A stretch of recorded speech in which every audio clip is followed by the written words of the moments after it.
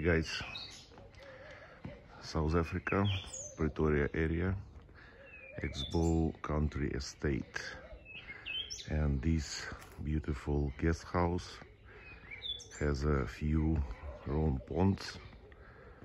And uh, every Wednesday and Saturday as I learn they're organizing a fishing. And here you can catch a trout you can catch bass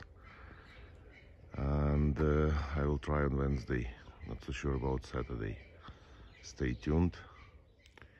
And uh, this guest house providing very nice accommodation actually with a cozy restaurant uh, for breakfast and dinner. Nice